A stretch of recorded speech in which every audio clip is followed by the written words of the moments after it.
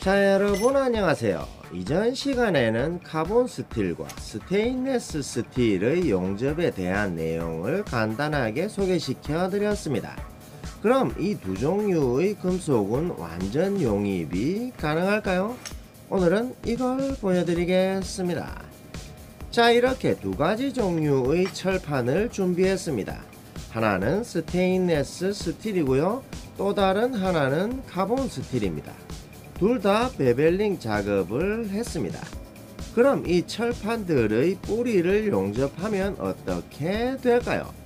두 가지 테크닉을 간단하게 보여드리겠습니다.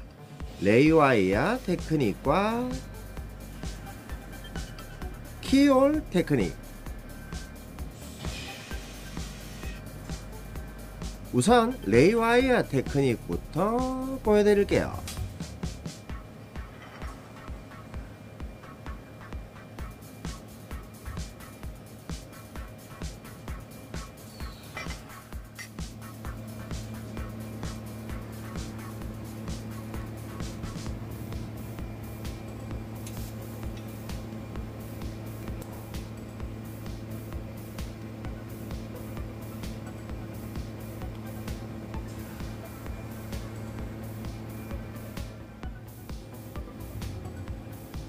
자 이렇게 세팅을 했고요. 바로 시작해 보겠습니다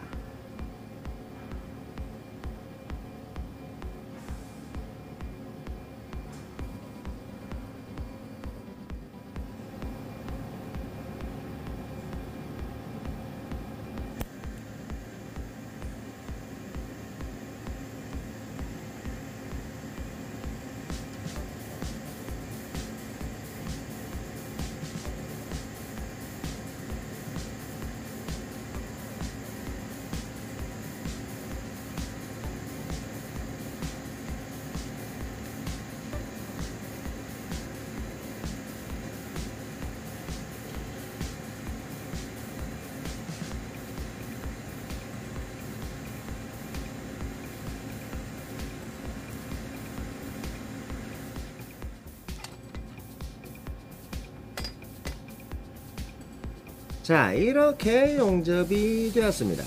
우선 표면은 용접이 잘 된 것처럼 보여집니다. 그럼 철판 뒷부분은 어떨까요? 자 여기 보시면 스테인레스 스틸은 뿌리까지 녹아서 잘 용접이 되었습니다. 그런데 카본 스틸의 뿌리는 녹지 않았습니다 왜 이런 현상이 생기는 걸까요? 카본 스틸과 스테인레스 스틸의 용융풀은 다릅니다. 그리고 309 와이어를 용접했을 때의 반응도 서로 다릅니다. 스테인레스 스틸을 용접할 때 309 와이어는 잘 붙습니다. 그러나 카본 스틸 철판에는 309가 잘 붙지 않습니다. 이런 측면에서 두 금속은 다르게 용접됩니다. 그럼 이 두 금속을 용접하기 위해서는 다른 방법이 필요할 것 같습니다. 자 그럼 이번에는 keyhole 테크닉으로 용접해 보겠습니다. 어떻게 용접이 될까요?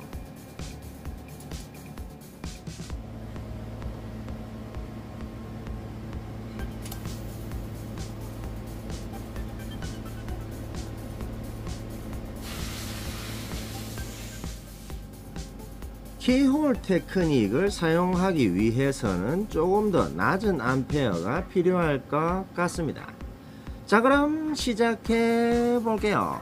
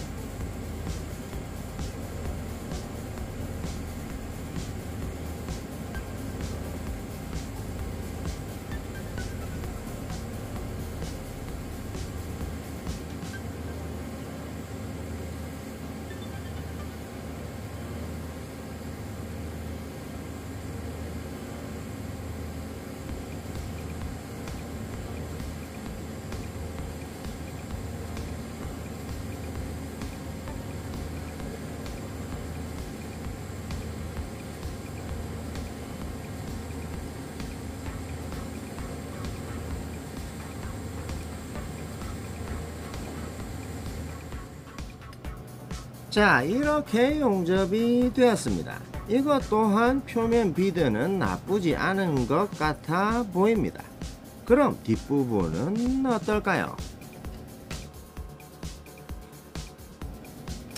뒷부분은 이렇게 용접이 되었습니다. 이전과 달리 양쪽이 잘 녹았습니다. 나쁘지 않은 결과인 것 같습니다. 이번 시간에도 보여드렸다시피 소재가 다르면 용융풀도 다릅니다.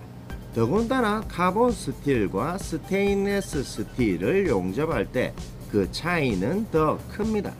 309 와이어가 스테인레스 스틸에 붙는 속도와 카본 스틸에 붙는 속도가 다르기 때문입니다. 그래서 오늘 보여드린 용접 방법이 좋다고 말하기는 힘듭니다. 그러나 카본 스틸과 스테인레스 스틸의 완전 용입은 가능합니다. 다음 시간에는 이걸 채우는 용접도 소개시켜 드릴 거고요. 차후에는 왜 오늘 같은 결과가 나오는지에 대한 자세한 내용들도 소개시켜 드리도록 하겠습니다. 자 그럼 오늘은 이만 여기까지 오늘 영상이 유익했다면 좋아요 부탁드리고요. 자 그럼 오늘은 이걸로 마치고 다음 시간에는 또 다른 내용으로 다시 돌아오겠습니다. 시청해 주셔서 감사합니다.